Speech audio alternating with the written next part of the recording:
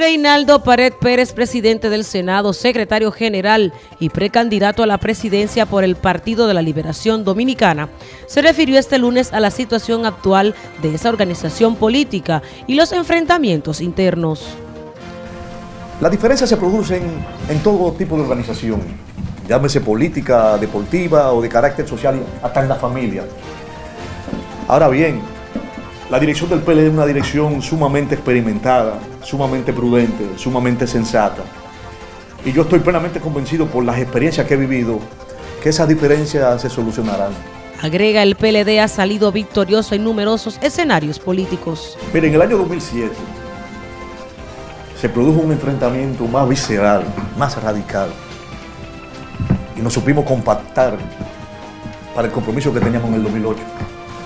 Las diferencias que se han producido hoy en día o que se están produciendo hoy en día no se asemejan ni se asimilan a aquel gran enfrentamiento que hubo en el año 2007 de cara a las elecciones del año 2008.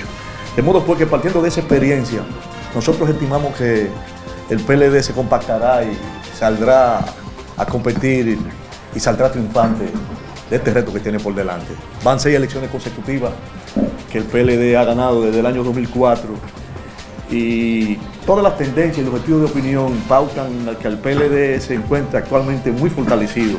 Sobre posibles aprestos para la modificación de la Constitución y las recientes declaraciones de Leonel Fernández, expresó. Desde su ángulo, es una posición correcta la de Leonel, porque Leonel aspira a encabezar la boleta presidencial de nuevo del Partido de la Liberación Dominicana.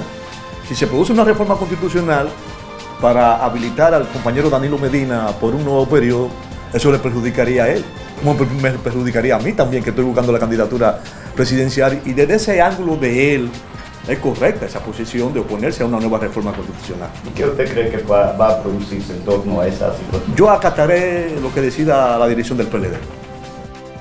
Para NTN, su noticiero regional, Joanny Paulino.